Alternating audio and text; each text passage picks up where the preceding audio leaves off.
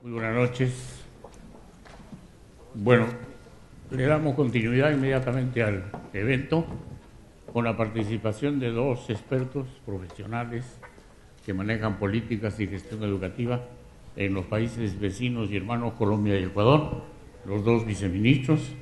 Y la idea de, este, de esta apertura es, por supuesto, tomar lección, tomar conocimiento y hacer comparación de cómo se han desarrollado cambios en estos dos países en el campo de la educación. Eh, no sé si vamos a atacar todos los temas de la educación básica y la educación superior, pero en fin, será como ustedes lo puedan ir proponiendo. Y el propósito es hacer de esas comparaciones una síntesis o una idea de ver cuáles son los mejores este, avances que se podrían trasladar, asumir y llevar adelante en el caso de cada uno de nosotros respecto a los demás. Nos acompaña, desde luego, se queda con nosotros el ministro Saavedra, después de su eh. extensa exposición y muy brillante. y felicito. Felizmente no es un partido de fútbol, porque aquí estaríamos Colombia, Ecuador y Perú, y la cosa sería muy difícil. Una Copa América. Casi la Copa América, pero en educación. Muy bien. Entonces, eh, va a ser inicio de la presentación el viceministro ecuatoriano, el doctor Freddy eh, Peñafiel, eh, por 30 minutos. Muy bien, muchas gracias. Adelante. Muchas gracias. Eh, yo tenía una presentación y vi que el ministro tenía una cosita que le permitía pasar las láminas. no sé. Ay, perdón. Muchas gracias. Y con, con, las disculpas de los compañeros del panel voy a tener que, que hablar de pie porque soy profesor, entonces un profesor cuando habla sentado no, no habla bien. En primer lugar, un, saludo muy efusivo, señor ministro, compañeros, de parte del señor ministro de Educación, Augusto Espinosa, quien debía estar, debía estar en este panel. Estuvo listo para subirse al avión el día de ayer, pero el rato que daba el paso en, el, en la escalinata recibió una llamada del presidente y tuvo que dar un paso para atrás y, y atender una reunión con el presidente. Entonces, para eso estamos los viceministros, somos siempre el plan B. Así que con mucho gusto y mucho placer represento al, señor ministro para contarles un poquito qué es lo que ha pasado en, Ecuador en educación en estos años, cuáles han sido nuestros avances, nuestros problemas, nuestras dificultades. Cuando el señor ministro explicaba lo que, lo que pasa en el Perú, muchas de las cosas que pasan son, son las mismas y, y los problemas son los mismos y los resultados a veces son los mismos. La presentación la hemos llamado hacia el país del conocimiento justo y solidario, que es precisamente lo que nos manda nuestro Plan Nacional del Buen Vivir, nuestro Plan Nacional de Gobierno. Construir una sociedad del conocimiento, en el que lo más importante sea el conocimiento, pero no solamente el conocimiento eh, vacío, sino un conocimiento que vaya y que nos debe hacia una sociedad de justicia y de solidaridad. Entonces, ¿para qué? ¿Para qué esta sociedad del conocimiento justo y solidario. Primero tenemos serios problemas económicos relacionados con la producción. Hemos sido un país de producción absolutamente primaria. Para resolver estos problemas económicos, lo que planteamos ahora es que la producción del país vaya hacia la sociedad del conocimiento. También el Ecuador ha vivido un problema social muy serio sobre la distribución del ingreso, una distribución del ingreso absolutamente injusta. Planteamos entonces que esta sociedad que estamos buscando busque una distribución del ingreso también dentro del plano de la justicia. Y además, y quizá lo más serio, es un problema cultural. Un problema cultural relacionado con priorizar el interés particular sobre el interés colectivo, el interés de cada individuo sobre el interés de la sociedad. Es decir, una sociedad no solidaria. Buscamos entonces una sociedad que vaya hacia la sociedad del conocimiento como principal producto, que sea dentro del marco de la justicia y que sea dentro del marco de la solidaridad. ¿Cómo resolver entonces este problema económico? La respuesta es con productividad sistémica, que vaya más allá de la producción simplemente primaria. Necesitamos entonces desarrollar una infraestructura física para esta producción, una infraestructura física que nos permita, en primer lugar, dotarnos de energía segura, de energía renovable, de energía limpia, y que nos permita tener un país conectado, un país en el que podamos movernos de un lado al otro de manera física, de manera digital o de cualquier otra manera. Es decir, un país que esté absolutamente interconectado. Para esto necesitamos alguien que conduzca el país. Y por eso el Gobierno Nacional y el Ministerio de Educación ha puesto muchísimo énfasis en la formación del talento humano, que nos busca una formación de base obligatoria, que nos busca además una formación para la producción de bienes y servicios y sobre todo, y quizá lo más importante, una formación para la innovación, para descubrir cosas distintas y resolver los problemas de maneras distintas. Hemos estado acostumbrados durante muchos años a resolver los problemas de la misma manera. Y al resolver un problema de la misma manera obtenemos siempre el mismo resultado, que no siempre es la resolución del problema. Entonces buscamos una sociedad que a través de la educación busque la innovación. Y por supuesto, eso nos lleva a la necesidad de buscar un desarrollo tecnológico que nos convierta en productores de tecnología y no solamente en consumidores. Es interesante eso de la tecnología. No es tan fácil como parece. ¿Qué hemos logrado en educación? Primero, una pequeña, una pequeña digresión. En Ecuador, el Ministerio de Educación está dividido en dos niveles. Tenemos un Ministerio de Educación, que es el que, en, el, en el que trabajo, que se encarga de la educación inicial, la educación general básica y el bachillerato. Y existe una Secretaría Nacional de Educación, Ciencia, Tecnología e Innovación, que tiene un nombre más largo, que se encarga de manejar los institutos técnicos y tecnológicos y la educación universitaria. Entonces voy a contar un poquito sobre el lugar en el que yo trabajo. ¿Qué ha pasado con la tasa de matrícula por los distintos niveles? En educación inicial, por ejemplo, en el año 2007, cuando empieza el gobierno, teníamos inscritos alrededor de 27.000 niños. Es decir, la educación inicial pública prácticamente no existía.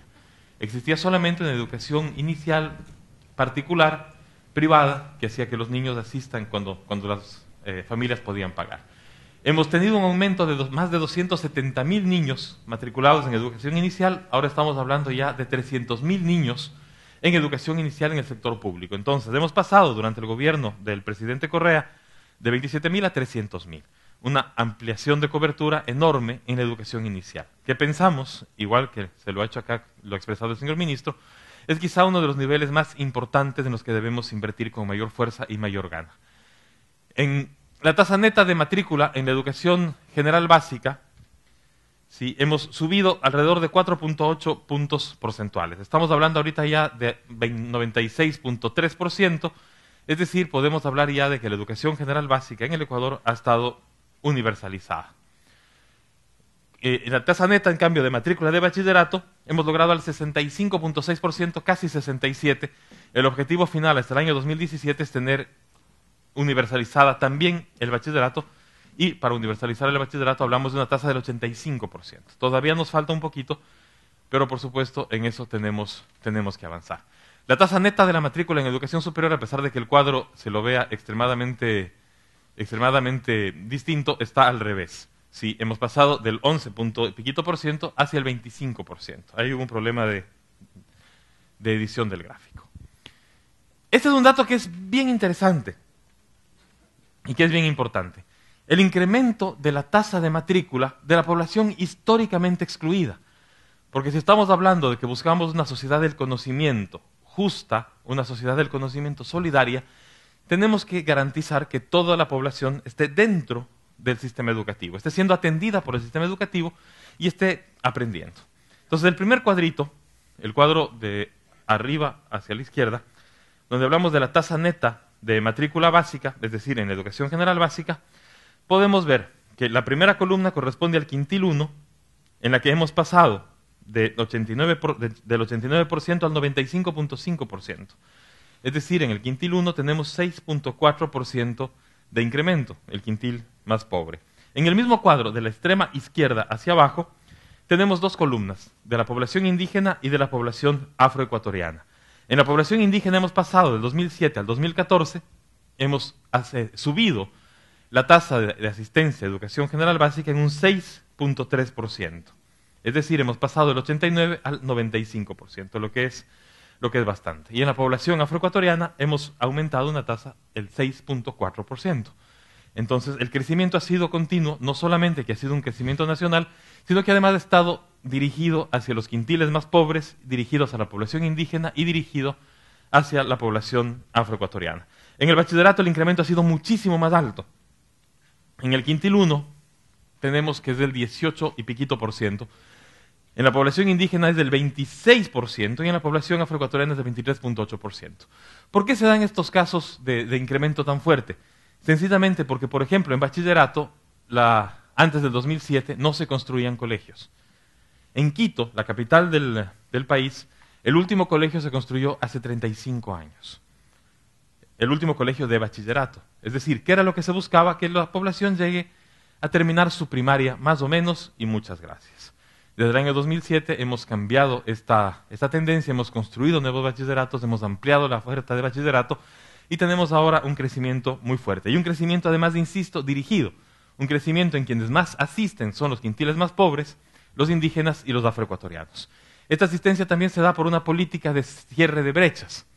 ¿Qué pasaba en el Ecuador antes del año 2007? La educación pública no era gratuita. La educación pública costaba. Entonces las padres y madres de familia tenían que a veces elegir a cuál de los niños mandaban a la escuela, porque no podían pagar la escuela a los tres o cuatro niños. Entonces elegían al más pilas, digamos, al, que podía tener más potencial, y ponían toda su esperanza a él, y él era el que estudiaba. Los otros tres, cuatro hermanos no podían ingresar a la escuela. Entonces la política de cierre de brechas establece en primer lugar que la educación en el Ecuador es gratuita hasta el nivel de, hasta el nivel de universidad, hasta el nivel de pregrado. Primera carrera es gratuita toda la educación inicial, general básica y bachillerato. Los padres y madres de familia no tienen que pagar ninguna contribución, ningún bono para poder ingresar. Además, los libros de texto, que también es otro limitante porque son muy costosos, son gratuitos hasta el bachillerato. Hay un programa de alimentación escolar que cubre casi el 80% de la población, también gratuita todos los días del año. Hay un programa de uniformes escolares y estamos diseñando también ciertos programas de transporte escolar que permita que los niños puedan acceder a la educación sin, sin costo. Entonces, todas estas políticas de cierre de brechas enmarcadas en la construcción de esta sociedad del conocimiento justa y solidaria, una sociedad del conocimiento en la que todos y todas tengan el mismo acceso a la educación. Necesitamos entonces formar este talento humano para el desarrollo tecnológico. ¿Qué es lo que estamos buscando? El Ecuador tuvo durante mucho, mucho tiempo una población, eh, una producción, perdón, primaria, una producción que no transformaba los productos en productos terminados. Grandes exportadores de cacao, pero no exportábamos chocolate. Exportábamos la planta del cacao, se iba a Suiza, la transformaban, regresaban y nos la vendían a seis veces su valor. ¿No es cierto? Entonces lo que estamos haciendo ahora es hacer estos cambios. Lo que tenemos en este cuadrito son las opciones, las ofertas que tiene el Estado para la formación que busca este desarrollo tecnológico. En primer lugar, hacia la izquierda nuevamente tenemos la capacitación en servicio, la capacitación para el servicio, que nos establece dos tipos de formación. En primer lugar, la certificación de competencias profesionales a través de organismos que pueden ser certificadores de competencias en el campo laboral, en el campo técnico, en el campo tecnológico, y abajo tenemos el bachillerato técnico productivo, que es un mandato de la ley de educación, de educación eh, aprobada en el año 2008, que establece que las personas que terminan su bachillerato pueden hacer un año adicional de bachillerato técnico productivo en alguna especialidad mucho más, mucho más acotada. Tenemos el bachillerato técnico en el cuadrito de la mitad, en la parte de abajo, que también es importante anotar. En el Ecuador el 51% de los niños, de los jóvenes que se matriculan en bachillerato, tienen una opción de bachillerato técnico. Un bachillerato técnico que desde hace cuatro años cumple con las mismas bases comunes que todos los bachilleratos, es decir, en el Ecuador tenemos un bachillerato general unificado, en el que todos los jóvenes terminan con los mismos aprendizajes básicos comunes, pero el 51% opta por, además de esa formación básica común que garantiza el posible ingreso a la universidad, por tener una formación técnica, que le garantiza o que le posibilita el ingreso directamente al trabajo. Tenemos 37 figuras técnicas, estamos tratando de acortar un poquito porque son, son demasiado y algunas son muy parecidas. Tenemos además entonces de este bachillerato, este bachillerato técnico productivo, la posibilidad de ingresar a la formación técnica y tecnológica superior, los institutos técnicos y tecnológicos de los que el ministro nos habló, muy bien. Estos institutos técnicos y tecnológicos en el Ecuador son regulados por la Secretaría de Educación Superior. No se pueden crear extensiones, no se puede replicar los institutos, hay que hacer uno nuevo, que precisamente era el problema que se enfrentaba, que se enfrentaba aquí la propuesta de ley. Y estos institutos técnicos y tecnológicos en este momento están teniendo un impulso muy fuerte. El Estado está construyendo y poniendo en implementación alrededor de 51 institutos técnicos y tecnológicos propios para poder tener una calidad en la oferta del servicio. porque se hizo la misma evaluación que se hizo en las universidades. En el Ecuador es, es interesante, hace seis, siete años se hizo una evaluación general de universidades y de institutos técnicos y tecnológicos, que buscaba precisamente establecer ese piso común del que hablaba el ministro. Eh, la conclusión de esta evaluación general de universidades es que cerramos 14 universidades. 14 universidades, que nosotros las llamábamos universidades de garage, es decir, universidades que funcionaban precariamente, ofertaban carreras muy precarias y no garantizaban el aprendizaje. Ahí no solamente era una estafa al estudiante, era una estafa social. Una universidad que te da medicina en condiciones deplorables en las que no tiene ninguna garantía de poder eh, tener un éxito, no solamente hace daño al chico que está estudiando ahí perdiendo su tiempo, sino que además al pobre usuario que en algún momento puede tener una enfermedad y que en manos de alguien que no estaba capacitado. Cerramos 14 universidades y cerramos también algunos institutos técnicos y tecnológicos. ¿Qué pasó con los chicos que estaban estudiando? Tuvieron un proceso de remedial para graduarse con las universidades eh, de categoría A, B y C, que son las que, las que sobrevivieron, digamos. Y los casos eran curiosos. Personas que estaban a punto de graduarse de odontología, por ejemplo, dieron los exámenes nacionales y resulta que estaban en segundo año o en primer año y tuvieron que repetir su carrera. Fue un costo social eh, fuerte, fue un costo político fuerte, pero había que, había que hacerlo. Había que garantizar que el sistema universitario tenga la calidad suficiente para formar profesionales que son los que necesitamos. Más arriba del Instituto Técnico y Tecnológico tenemos las ingenierías o las licenciaturas, es decir, la formación de tercer nivel, y para la innovación, que es lo que necesitamos y buscamos, necesitamos la construcción de maestrías científicas, de maestrías de investigación y de doctorados. En el Ecuador solamente dos universidades, bueno, desde, este año cuatro, pero hasta este año dos universidades podían ofertar doctorados. Y las dos eran en ciencias sociales. Este año se están ofertando ya dos doctorados también en, en tecnología y en ingenierías, que son temas muy interesantes. Sin embargo, para cubrir esta brecha, el Ecuador tiene el programa de becas más ambicioso de la historia. Alrededor de 12.000 estudiantes están estudiando fuera, maestrías y doctorados fuera del país, en las mejores universidades del mundo, precisamente para suplir con este problema de formación, con este problema de universidades. La Ley Orgánica de Educación Superior establece que la plantilla mínima de PhDs que tiene que tener una universidad es del 40%. Si vemos hacia atrás, el Ecuador no tenía universidades que formaba PhDs, entonces no, tenía, no hay de dónde sacar. Entonces estamos enviando fuera del país a prepararse a 12.000 eh, estudiantes. Hay becas específicas para profesores universitarios de PhD para que puedan regresar a cumplir lo que se necesita. ¿Cómo resolver este problema social entonces? La respuesta es con una distribución primaria del ingreso.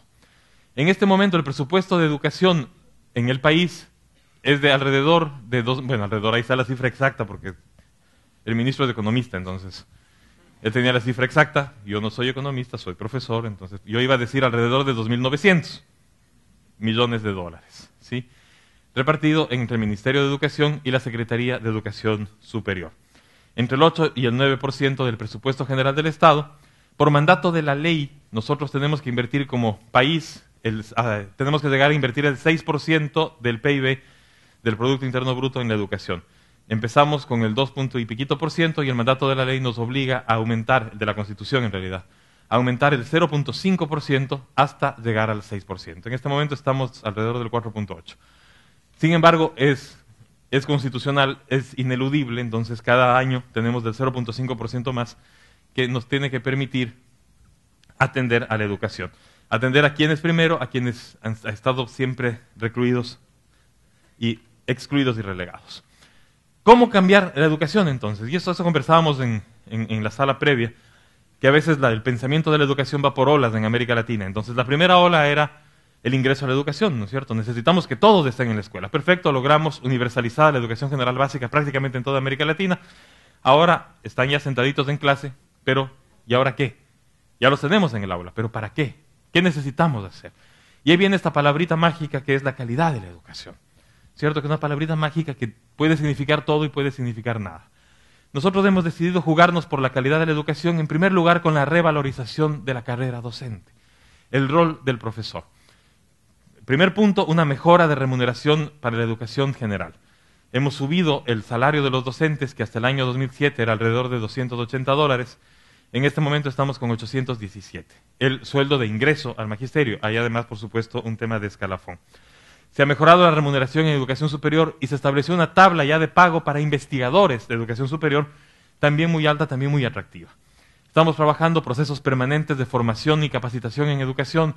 El ingreso al magisterio público es cada vez más complicado. Tenemos concursos nacionales de ingreso al magisterio en el que aplica, la primera vez aplicaron 150 mil docentes y entraron 18 mil. Es decir, es un sistema extremadamente eh, estricto y muy complejo que nos permita garantizar que los mejores estén dentro del sistema público. La ley de educación en el Ecuador establecía una diferencia muy, muy curiosa e ilegal casi entre los profesores de nombramiento, es decir, quienes tenían su nombramiento y su estabilidad, y los profesores contratados, que no tenían ningún tipo de estabilidad. Hacían el mismo trabajo, tenían la misma formación, lidiaban con los mismos niños en clase, y los contratados ganaban el 30% menos. Entonces estamos tratando de eliminar ese proceso con estos concursos de ingreso al magisterio. En el Ecuador existe un sistema nacional de ingreso a la universidad. Todas las personas que quieren ingresar al sistema público tienen que presentarse a este Sistema Nacional de Admisión. Se ha puesto desde la, desde la norma que para ingresar a educación se tienen que obtener 800 puntos en el examen. El mismo puntaje que para ingresar a medicina. Son las dos carreras estratégicas. Entonces solamente los mejores pueden ingresar a educación y medicina. Claro, no es muy competitivo, un médico gana mucho más que un docente. Entonces, para hacerle competitivo, estamos dando también un salario mínimo, 340 dólares, a los estudiantes mientras están estudiando para ser docentes y garantizándolos después la formación permanente, las becas eh, de maestría y demás. Es decir, también, exactamente igual que lo que dijo el señor ministro, atraer a los mejores, a la mejor de las carreras posibles, la docencia. Nuestra campaña se llama Quiero ser maestro, la profesión de las profesiones. Y tenía cosas muy bonitas, como por ejemplo, un abogado puede sacarte de la cárcel, pero un maestro puede hacer que nunca conozcas una. O sea, una cárcel, no un abogado.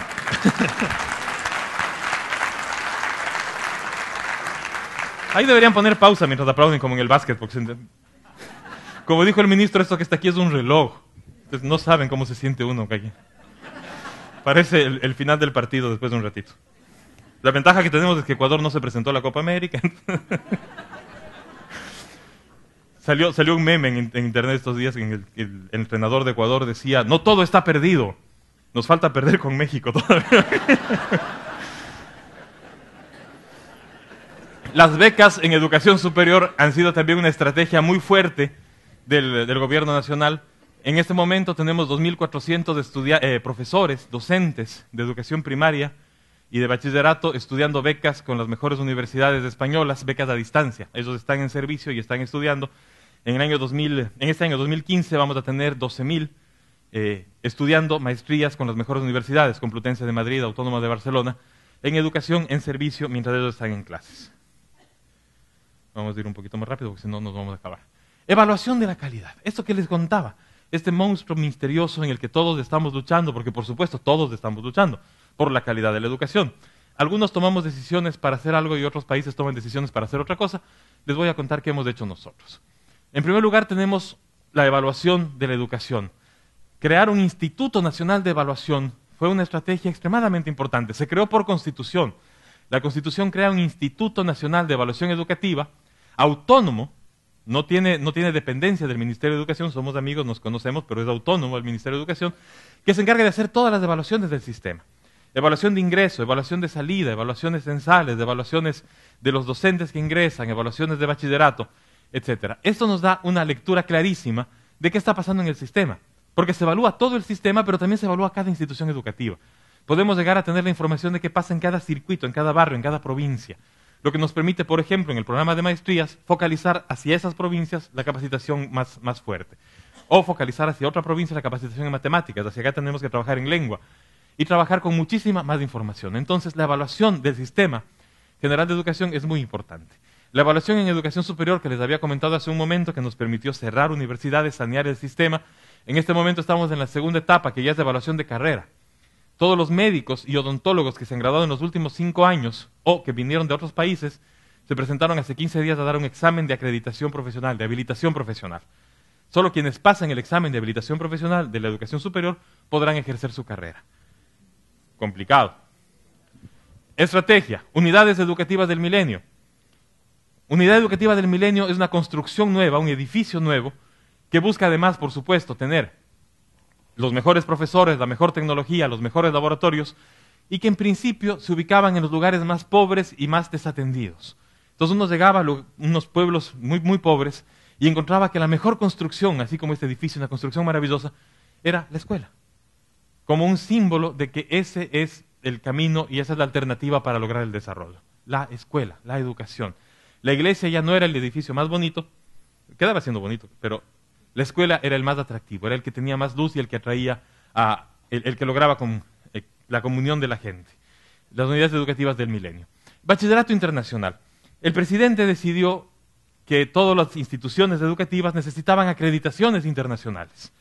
La acreditación internacional que encontramos que nos brinda la, más, la mayor cantidad de información es del bachillerato internacional.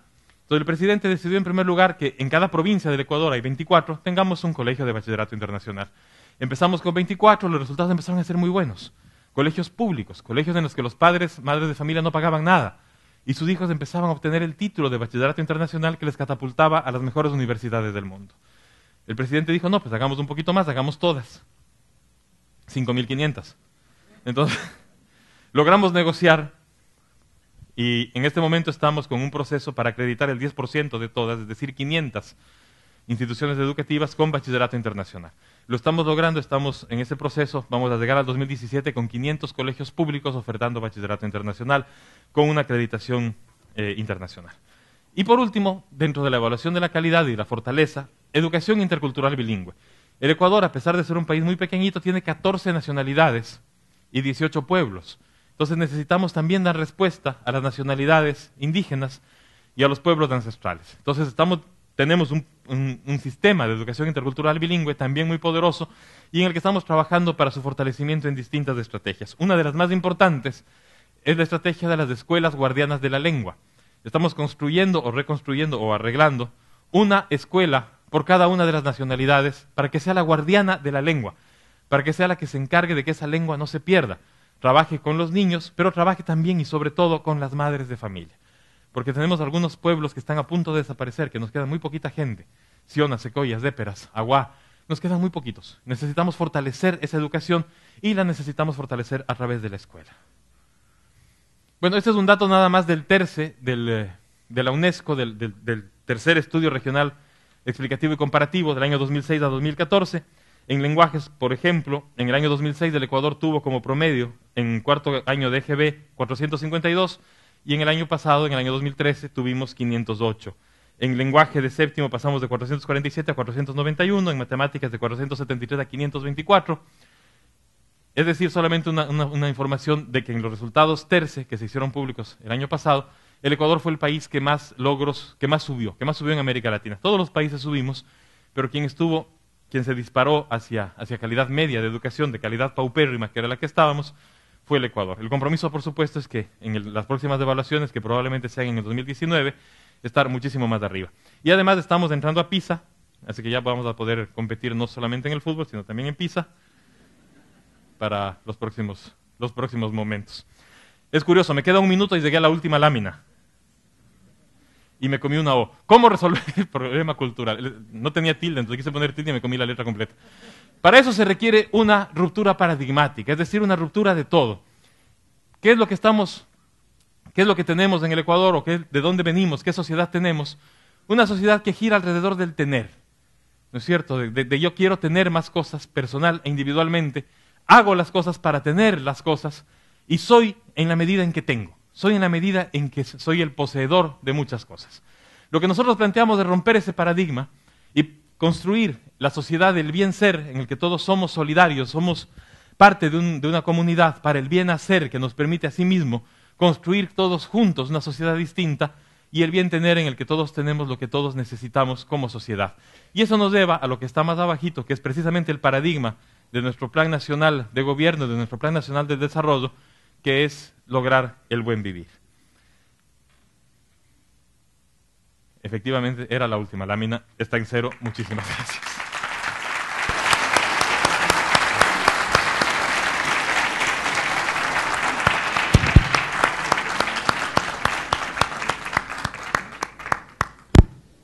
Muchas gracias, Freddy. Yo creo que ha sido una estupenda presentación que nos ha dejado impresionado por la variedad de temas, por la forma como los ha enfocado y el verdadero aluvión de información que nos ha dado. El, proceso en esta sesión es que después va a hacer uso de la palabra el viceministro, el ex viceministro colombiano, un funcionario del Banco Mundial, el doctor Otero y luego el ministro Saavedra, por unos minutos más, de manera que, y al final de esto, unos 40 minutos, no estoy mal, me corrige, de diálogo entre los miembros del panel.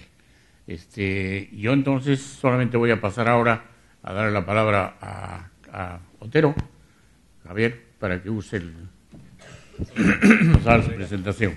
Muchas gracias y muchas gracias por la aclaración. Em, ciertamente, creo que afortunadamente para mí no soy ya viceministro. Em, lo fui en dos oportunidades, del 2002 al 2007 y después del 2010 al 2012.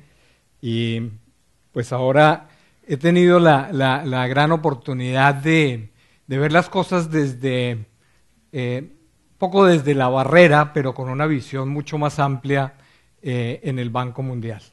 Quiero empezar agradeciéndole a los organizadores de, de este CADE por la eh, educación, por haberme invitado. Sé y, y, y, quiero hacerlo público que estoy aquí un poco de rebote. Eh, como decía el viceministro, los viceministros somos el, backup. Yo ya no soy viceministro, pero bueno, eh, fui backup y lo hago con todo el gusto. Eh, habían invitado a la ministra Gina Parodi, la ministra de Educación de Colombia, eh, como, como, cosa no tan rara, pero hay serias dificultades, hay todo un proceso de, de, de negociación, de trabajo con con el, la eh, Federación de Docentes eh, eh, Colombianos, con FECODE, entre muchos otros frentes que estoy seguro el ministro sabe muy bien cómo es y cómo muchas veces para los ministros el salir de, del país pues es muy complicado. Ella pues no pudo estar aquí. Yo no, no, no estoy reemplazando a la ministra y no voy a hablar específicamente de las políticas de Educación de Colombia hoy.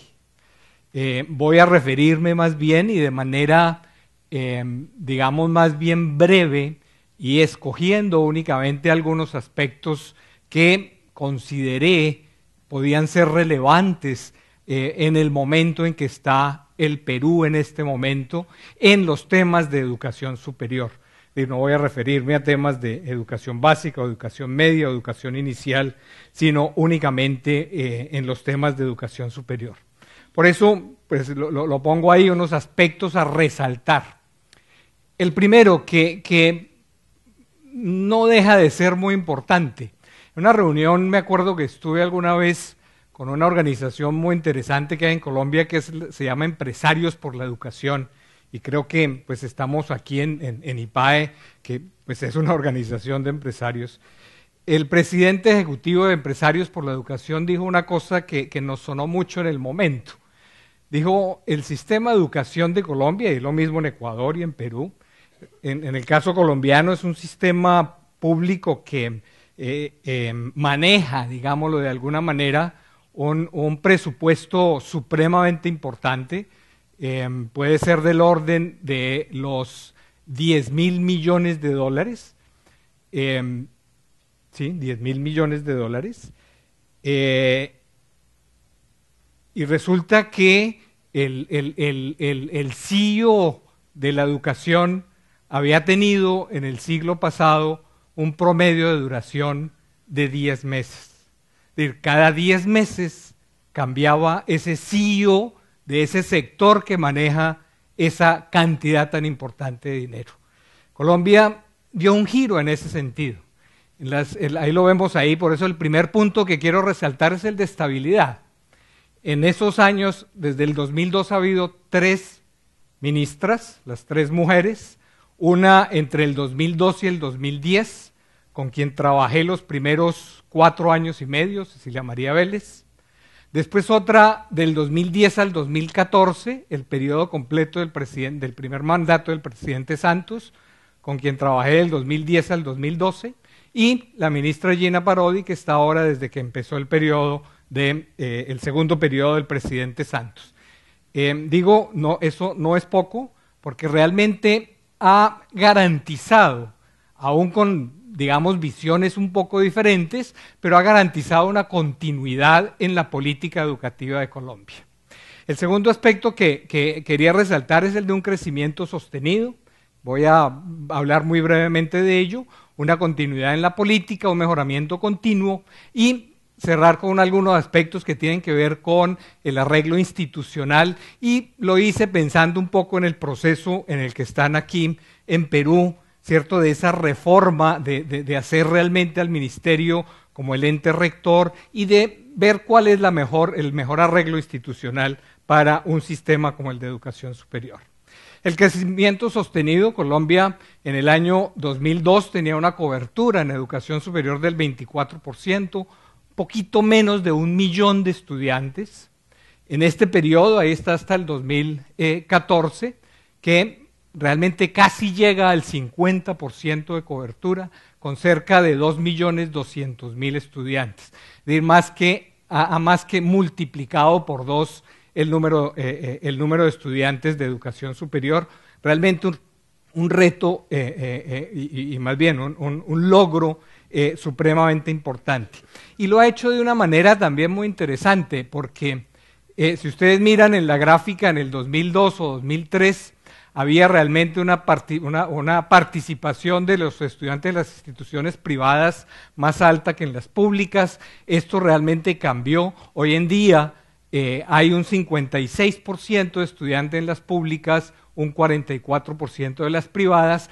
Ambas realmente han venido eh, creciendo. En cuanto a continuidad en la política, voy a referirme a cuatro aspectos eh, que han sido, realmente uno puede decir, se han manejado de manera continua, se han mantenido eh, durante estos eh, cerca de 15 años. El primero, acceso con equidad, el segundo, calidad, el tercero, pertinencia e innovación, el cuarto, modelo de gestión. En cuanto a acceso con calidad, la premisa ha sido generar condiciones para que más colombianos se gradúen de la educación superior. Y ahí hubo un cambio al principio de los 2000. No se hablaba, es decir, normalmente se hablaba de acceso, de más estudiantes que accedan a la educación superior. Pero resulta que los niveles de deserción en la universidad, eh, en la educación superior son muy, altos y se viró realmente a que se debe tener en cuenta no solamente el acceso, sino la graduación. Eh, ¿cómo, se ha hecho esto? Primero, mejorar las fuentes de financiamiento de los estudiantes. E, es hecho de que el 55% de los estudiantes en ese momento estuvieran en educación privada, en instituciones privadas que obviamente tenían que pagar una matrícula, pues tenía un impacto en cuanto a que limitaba el acceso a la educación superior. En el 2003, perdón, 2012 inició precisamente con el apoyo del Banco Mundial un el programa Access, Acceso con Calidad a la Educación Superior, para eh, ofrecer crédito educativo a los estudiantes. A la fecha realmente se han apoyado más de 600 mil estudiantes en estos 12 eh, años. A partir del 2011 la tasa de interés real de estos créditos era cero. Adicionalmente, y esto pues en este, en este gobierno se inició un programa que se llama Ser Pilo Paga, pilo en Colombia, no sé si aquí sea lo mismo, pero ser pilo es ser juicioso, ser estudioso. Em, y el, ser pilo paga son 10 mil becas anuales que cubren el valor de la matrícula en la universidad que, el estudiante se ha admitido y que le, da además el, eh, gastos de manutención.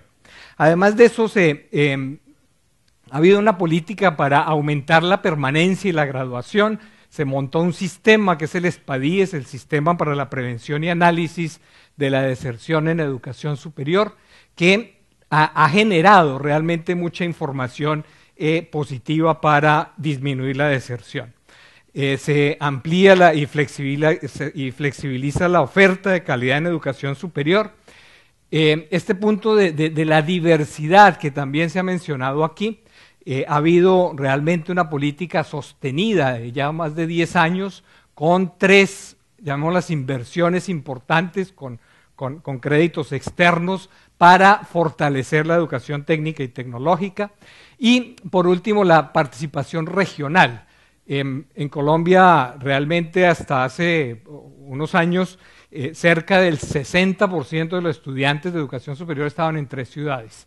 Y obviamente Colombia es un país de muchas regiones y pues ha habido una, una, política también de regionalizar, de llevar la educación superior a las regiones. Se crearon en el 2004 los CERES, los Centros Regionales de Educación Superior, que ha sido una iniciativa muy, muy, interesante porque se trató no, no, de crear instituciones nuevas, sino de que el Estado, con, con, recursos públicos, eh, digamos que mejoraba una instalación ya existente, la mayoría instituciones, de, instituciones educativas o instituciones que los municipios aportaban a, la alianza y en esa, a, esa, a esa infraestructura diferentes instituciones de educación superior llevaba una oferta muy flexible y con un componente importante de educación virtual. Y además se promovió con las universidades públicas los programas de regionalización, es decir, que no solamente la oferta estuviera en la capital del departamento, como se llama en Colombia, sino que las universidades públicas tuvieran ellas mismas y se, se motivó, se incentivó que tuvieran, digamos, un programa de regionalización. En cuanto a la calidad, y voy a pasar aquí de una vez a este grafiquito que, quiero eh, dedicarle unos minutos, realmente se consolidó un sistema de aseguramiento de calidad. Eh, esto fue creado en el 2003, que se ha mantenido y que creo que eh, ha, sido además un muy buen ejemplo en muchos otros países. Nosotros vimos la calidad muy al estilo como la, planteaba el ministro Saavedra eh, tenemos, digamos, esas dos columnas, un licenciamiento que en Colombia se llama el registro calificado, eh, que lo que garantiza es que hay unas condiciones necesarias, unas condiciones mínimas que todo programa e institución eh, deben cumplir, deben satisfacer. Adicionalmente hay una acreditación que ya se llama de alta calidad, es voluntaria y la hay de programas y de instituciones. Pero todo esto, digamos que se alimenta con dos dos, aspectos, dos iniciativas bien importantes. Por un lado, una, una política también sostenida de fomento dirigida a fortalecer sistemas de información de las instituciones, al uso de las tecnologías de información y, comunicación, al mejoramiento de la gestión, a la investigación. Y por otro lado, un aspecto que, que, para mí es central y en el cual realmente invertimos un esfuerzo y unos recursos muy importantes, y es la provisión de información, que consideramos que es realmente una responsabilidad importante del Estado. Creamos lo que se llama el Observatorio Laboral para la Educación, Em, eh, no sé por qué quedó OML, es OLE, Observatorio Laboral para la Educación, se hace a través del observatorio un seguimiento individual a todos los graduados de la educación superior y se hace de una manera, llamémosla automática, porque lo que hicimos fue generar el software, la estructura para hacer un cruce entre la, información, la, base de datos de todos los graduados con los sistemas de impuestos y de seguridad social. De tal manera que cada año se corre ese cruce y se puede hacer el seguimiento de absolutamente todos los graduados, desde graduados desde el 2001. Hoy en día el observatorio tiene una base de, datos de más de 2 millones de graduados, ¿cierto? Y les hace el seguimiento permanente. Toda esta información se procesa, se analiza y cada año, digamos que se hace pública y ha logrado realmente ser una fuente importante de información para estudiantes, para padres de familia, para las mismas instituciones, de cómo direccionar su oferta. Porque esto obviamente se puede desagregar por sector productivo, por carrera específica, por región del país, etc. Adicionalmente, eh, quiero mencionar la última barrita eh, y la última flechita azul de la izquierda de ustedes de Saber Pro, que tiene que ver con algo que mencionó el viceministro y es la evaluación. Colombia eh, creó, o más bien especializó un instituto, el ICFES, eh, como un instituto de evaluación de la educación y hace evaluaciones a los estudiantes, ahí el, el saber 11 cuando terminan la educación media y el saber, el saber pro. Aquí hablaba un poco más de este esquema, llamémoslo de, evaluación y monitoreo, que precisamente lo que hace es, lo más importante de esto es generar la información para que todos los actores, las instituciones, los padres, etcétera, tomen las decisiones eh, que, corresponden. Se evalúan los estudiantes al ingreso con Saber 11, obviamente durante el proceso las mismas instituciones y al final eh, con el Saber Pro. Adicionalmente, se evalúan los programas y se evalúan eh, las instituciones. Hay una pregunta que, sale con frecuencia y quiero mencionarla, es por qué, es decir, por qué es en un sistema autónomo como son las universidades, y lo mencionaba el, ministro, por qué el Estado, por qué el gobierno entra realmente a asegurar o a controlar. Y la respuesta que dimos nosotros, y que yo creo que después de, muchas discusiones pues fue aceptada, es que hay tres razones esenciales. La primera, en la mayoría de los países, y realmente escucho lo que decía el viceministro y lo felicito, porque no es tradición en Latinoamérica eh, el que haya, digamos, eh, exámenes para, que habiliten para, para, el ejercicio profesional. Normalmente el título profesional habilita para el ejercicio. Por lo tanto, la responsabilidad realmente del Estado, del gobierno, de que un título que otorga, porque lo que hace realmente una universidad es otorgar un título, es reconocer que un profesional es idóneo, pues tiene que tener una garantía para la sociedad. Segundo, protección del estudiante. El estudiante invierte realmente cinco o seis años de su vida y unos recursos muy importantes para obtener un título que obviamente después tiene que servirle para algo. Y la rendición de cuentas por los recursos que todos ellos son públicos, sean pagados a instituciones públicas o privadas, porque eh, pues provienen realmente ya sea de manera directa a través del costo de la matrícula o indirecta a través de los impuestos que pagan eh, los, ciudadanos. La, siguiente, digamos, línea de política que ha estado, eh, en la que ha habido mucha continuidad es en la pertinencia e innovación, en realmente hacer que la educación superior responda a las necesidades de la sociedad. Fortalecer la investigación. Colombia, como aquí, pues tiene las regalías, parecido al eh, el 10% de las regalías van a ciencia, tecnología eh, e, investigación. Se han fortalecido los vínculos con el sector productivo en el 2005 y se han mantenido, se crearon comités universidad, empresa, Estado en cada una de las capitales de departamento lo que comenté del, fortalecimiento de la educación técnica, que también ha estado sostenido. Les contaba que han sido tres eh, eh, eh, operaciones de crédito con banca multilateral, la internacionalización, el uso de las TICs y una estrategia que ha sido compleja y es la gestión de recursos humanos. Se, creó la Comisión Intersectorial para la Gestión del Recurso Humano, un poco para analizar cuáles son realmente las necesidades de recurso humano, de talento, de capital humano que requiere el país y hacer unas acciones mucho más eh, coordinadas. Y por último, el modelo de gestión. La gestión de las instituciones es absolutamente eh, central y, en las universidades, aún en las mejores Em, que enseñan administración, que enseñan gestión, muchas veces hay unas debilidades enormes eh, en la misma gestión.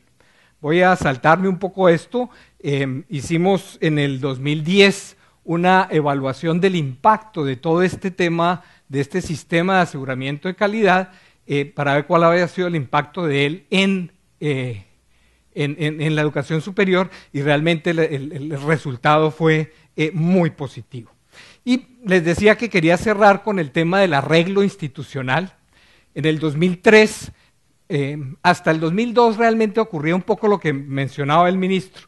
La educación superior no tenía un órgano rector al nivel, digamos, de, ministerio. Existía el ICFES, que mencioné yo en temas de evaluación, que se encargaba un poco de la educación superior y lo que hicimos fue una reestructuración del ministerio y del sector. Creamos el viceministerio de eh, Educación Superior en el 2003. En ese mismo año eh, especializamos el ICFES en evaluación de estudiantes. Se fortaleció el Consejo Nacional de Educación Superior el CESU como, digamos, el máximo órgano asesor del gobierno en, el tema de, educación superior.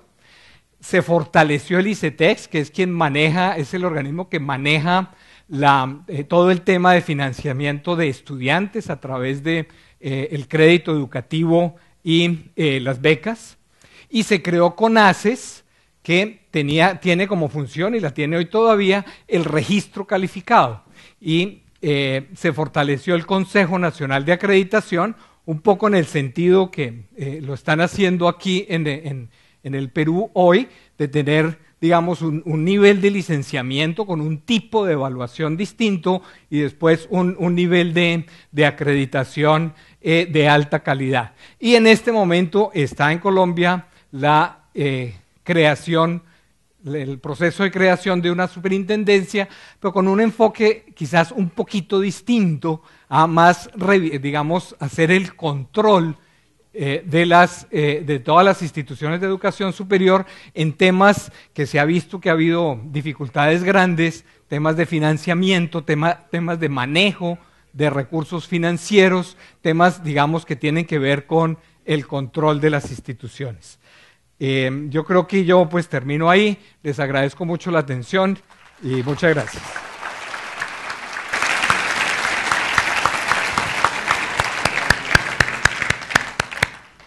Muy bien, muchas gracias, doctor Javier Botero. Creo que esta presentación de educación superior nos dado una visión muy importante de lo que en Colombia se ha avanzado y hay diferencias, matices y algunos puntos importantes que seguramente van a surgir en el panel que ahora abrimos con el ministro Saavedra. Este panel va a tomar 20 minutos, en los cuales van a haber intervenciones. Les pediría a los que estamos acá en el, en el estrado las más cortas y directas posibles, de manera tal que lo hagamos lo más ágil posible. Ministro Saavedra, por favor.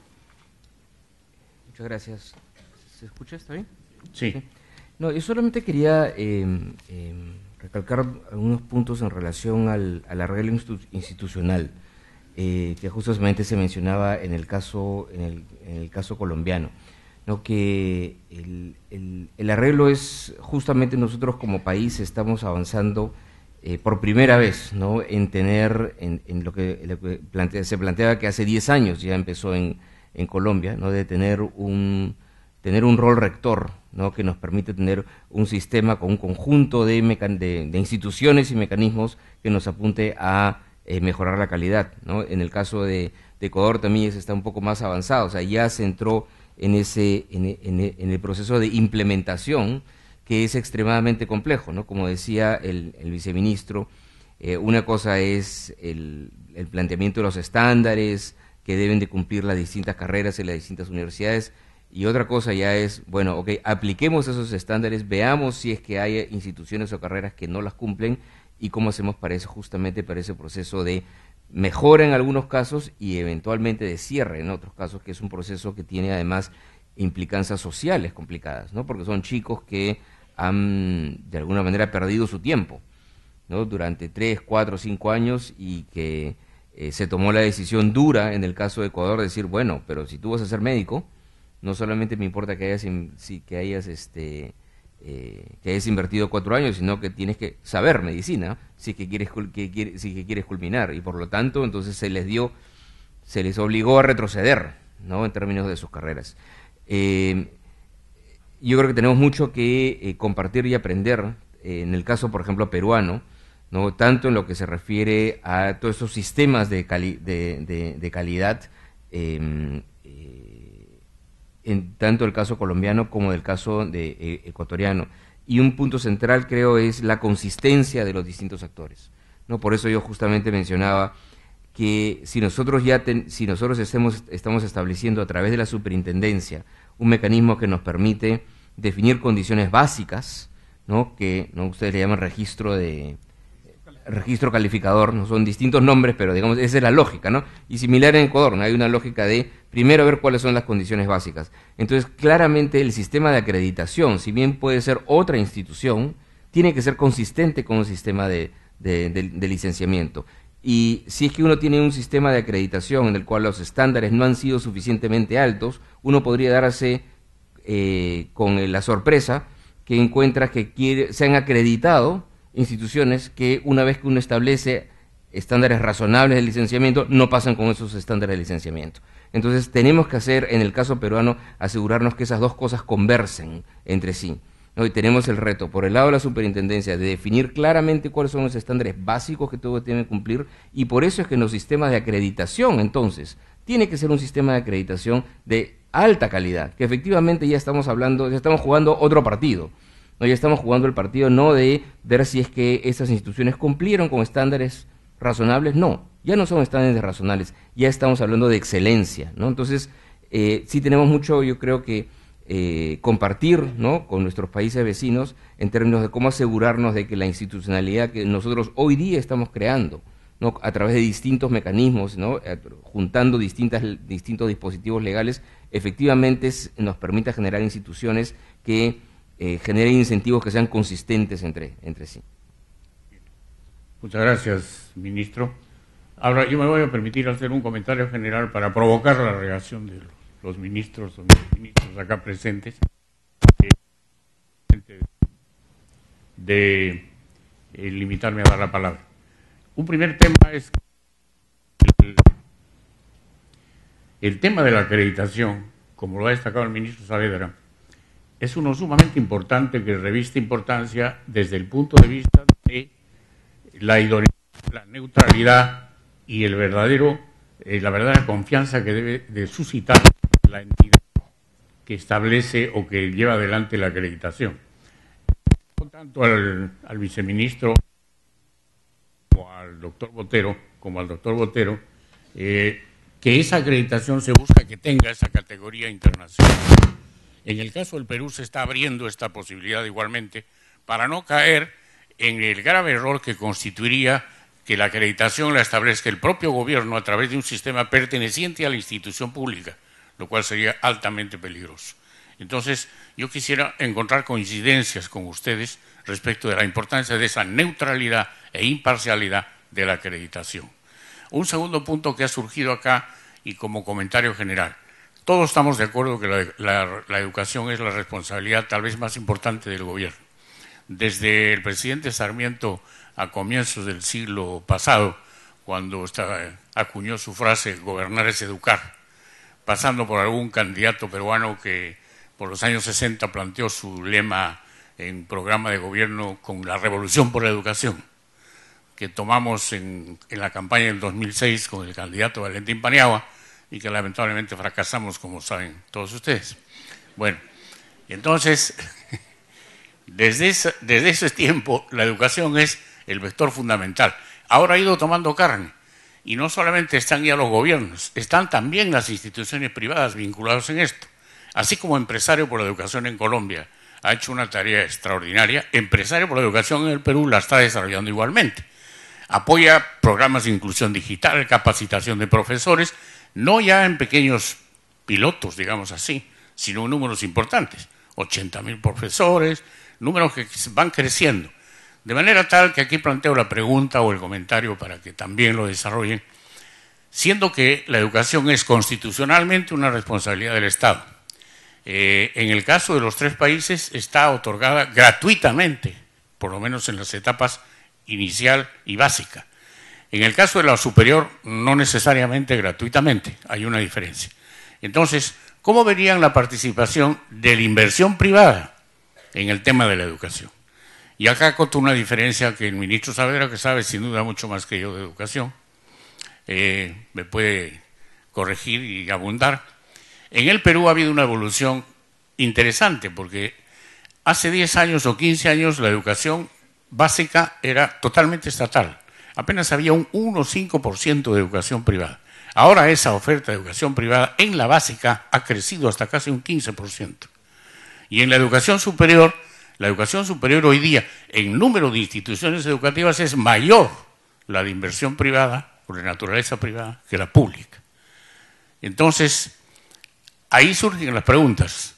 ¿Está bien que se encargue la educación superior a una competencia de inversión privada e inversión pública? ¿Puede lograrse esa alianza? ¿Puede hacerse sinergia en esa manera? Creo que es una interesante reflexión que podríamos escuchar. Y no quiero dejar de mencionar que en el tema de investigación, tanto en Ecuador como en Colombia y en el Perú, se ha trabajado a través de instituciones la creación de oferta, la generación de demanda y la búsqueda de la excelencia, tanto en la recuperación de investigadores, científicos y profesionales, como en la creación de instituciones internas en el país. Ahí sí, felizmente, no lamentablemente, eh, tiene que ver la inversión del Estado como el factor fundamental para esa investigación. Yo quisiera escuchar del viceministro ecuatoriano algún detalle de comentarios sobre una institución que ellos con gran voluntad de superación, más que de superación, de excelencia, han llamado además con un nombre que a mí me fascina porque es una mezcla interesante de quechua y palabra moderna, que se llama Yachaitec. Entonces, que significa Yachay de aprender, de saber y Tec de tecnología.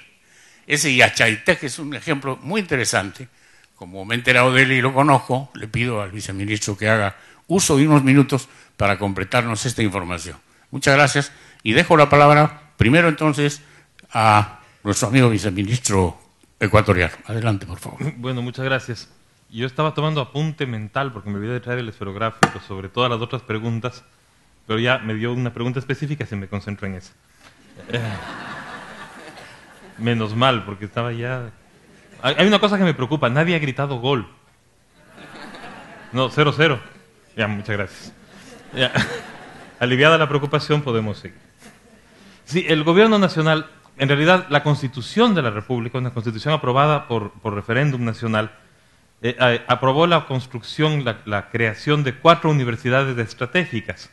Porque si bien el primer proceso fue de evaluación de universidades, solo una aclaración, el cierre de las universidades no se dio después de la primera evaluación.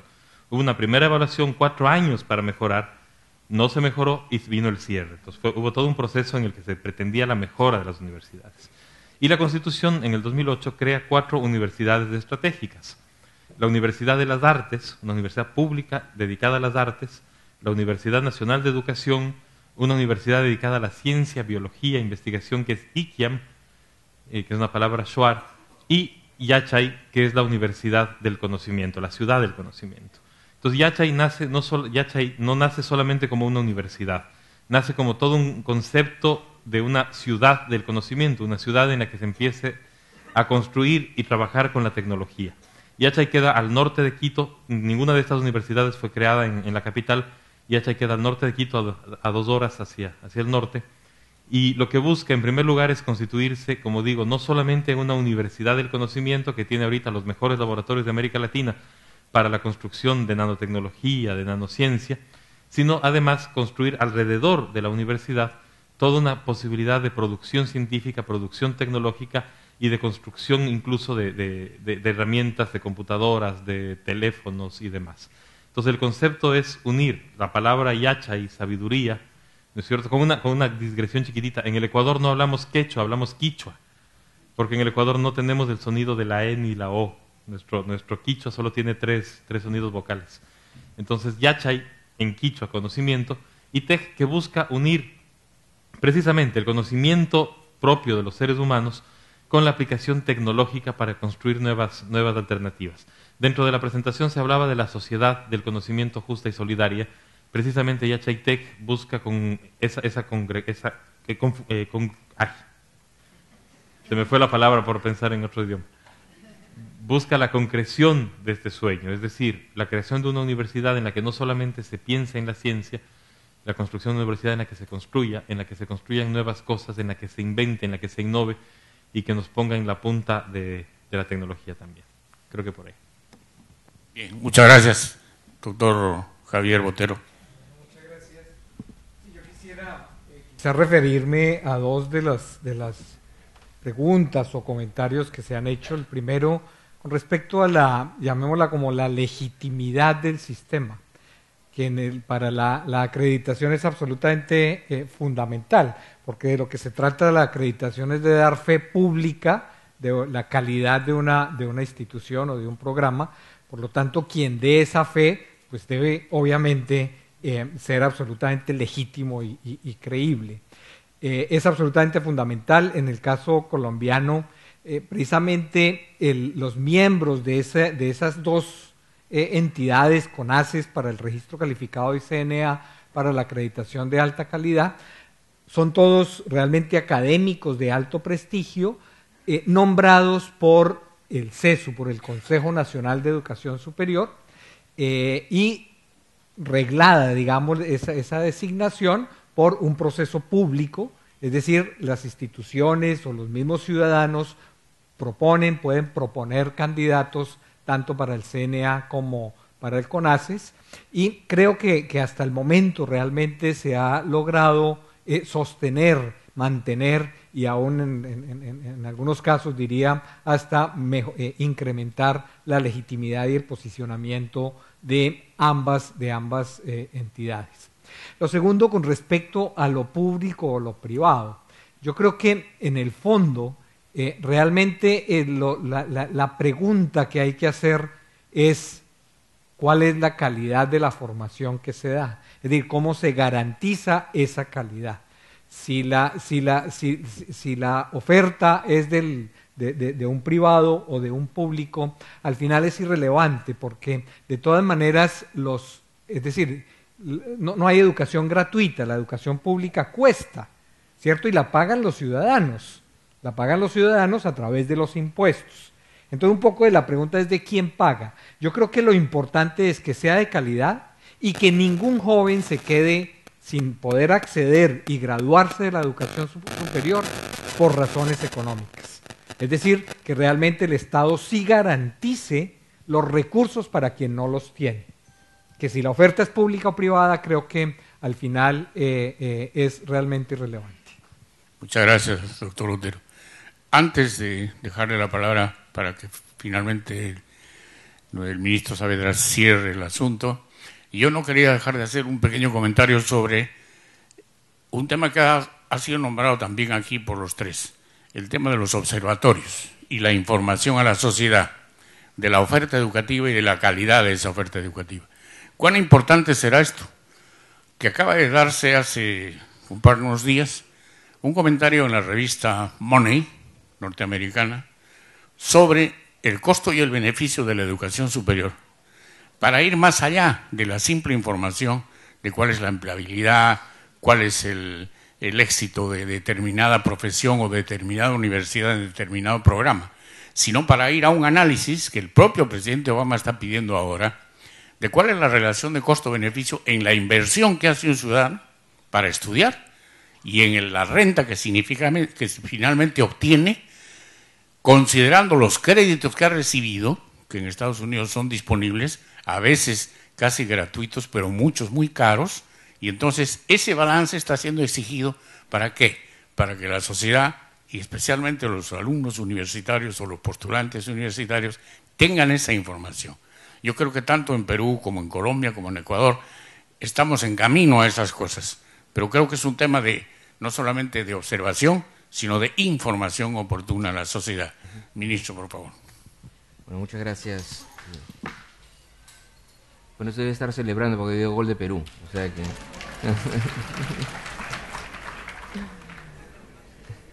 este. Yo mencioné hace. cuando estábamos hablando de lo complicado que eran hacer las cosas, este. Decía que no era física nuclear pero en verdad no importa que sea física nuclear, porque acá el doctor Botero es físico, entonces, este, exactamente, no, no podría ayudar. Y acá tenemos eh, el viceministro eh, Peñafil es maestro, yo soy economista, él es físico, entonces ahí, con todas las disciplinas, yo creo que la podemos, la podemos este, hacer mejor. Eh, porque sí es cierto que para poder mejorar las cosas en educación se requiere realmente todas las disciplinas. ¿no? En un ministerio de, educación necesitas pedagogos, necesitas psicólogos, necesitas arquitectos, necesitas ingenieros, necesitas administradores públicos. Y entonces este, sí es cierto que eh, digamos, esto es una buena, buena muestra de que efectivamente uno necesita todas las disciplinas para poder avanzar en educación. Hay varios temas que, que, mencionaste, pero quisiera, eh, doctor Inchaustegui, pero eh, quiero mencionar dos, al menos dos, dos temas. Bueno, uno Claramente el tema de observatorio, más que observatorio, es cómo nos aseguramos que las familias tengan toda la información que necesitan para tomar una decisión correcta. ¿no? Y, yo creo que la información no fluye de la manera adecuada. ¿no? Hay mucho marketing, pero marketing no es lo mismo que, información. Necesitamos mucho mejor información acerca de las características exactas de todas las instituciones y de qué pasa con los egresados de esas instituciones y estamos caminando en ese camino. En segundo lugar, el tema que justamente mencionaba el, eh, doctor Botero, eh, que estos temas, el tema de acreditación es extremadamente importante la fiabilidad y el prestigio que tiene el sistema de acreditación. Y por eso quienes están en un consejo o como las distintas denominaciones que tienen los países es, es, es, muy importante. En el caso de, por ejemplo, en nuestro caso, en el caso de la superintendencia, la lógica fue, bueno, tengamos un concurso público con un conjunto de requerimientos que nos permita elegir a las personas adecuadas. Y en el caso de eh, una institución acreditadora, digamos, una lógica justamente que se discutía eso cuando, cuando se planteó eh, esta ley de acreditación cuando se discutió en la ley en la Comisión de Educación del, Congreso, no se planteó lo mismo, ¿no? que sea por concurso público, me parece el tipo de personas que deben de estar en este, eh, en este consejo. Y, el otro punto que quería, que quería eh, mencionar era en relación a la educación pública respecto a la universidad, la educación privada. En, en algún momento cuando estábamos iniciando la gestión, alguien nos dijo, bueno, el rol del ministerio es asegurarse eh, asegurar el mejor servicio a los chicos que están en una escuela pública y el que escogió una escuela privada, bueno, ya ese es su problema. ¿no? Y yo creo que eso es un craso error. ¿ya? Eso es absolutamente incorrecto. ¿no? El rol del Estado es asegurar que todo niño tenga la mejor, eh, la mejor educación básica posible. ¿no? Eso es igualdad de oportunidades. ¿Estamos ahí? Obviamente no estamos ahí. ¿no? El chico, un chico que en una universidad, eh, perdón, en una escuela pública en, en, Lima no tiene las mismas oportunidades que está un chico de una escuela pública en la selva. No, así es, o sea, no estamos donde debemos estar. Todavía es un sistema inequitativo, pero la responsabilidad del Estado es asegurar que se incremente ese, el nivel de la calidad del servicio para todos, de tal manera que todo niño, independientemente de dónde nace, quién es sus padres, cuál es su raza, cuál es su lengua, eh, cuál es su nivel socioeconómico, tiene acceso al mismo nivel de alta calidad de, educación. Y si escoge la, la, escuela privada, lo mismo. Sí es un rol del Estado el asegurarse que la calidad de la educación que da esa escuela privada sea, sea adecuada. Y en eso hemos fallado. En eso el Perú ha fallado, ¿no? porque lo que ha pasado, ese incremento en la oferta eh, privada, particularmente en las ciudades, más del 70% de esa oferta privada se reparte en Lima y Arequipa. Lima, Arequipa, Trujillo, casi todas las ciudades grandes, eh, y el resto son todas ciudades, es completamente urbano. La mitad de esa oferta pública es en Lima. ¿Por qué se dio en gran medida esa expansión de la oferta privada en Lima? Porque el sector público se olvidó de invertir en Lima.